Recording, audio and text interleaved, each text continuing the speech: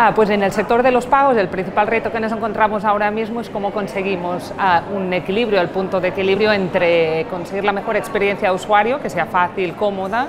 y con la mayor seguridad.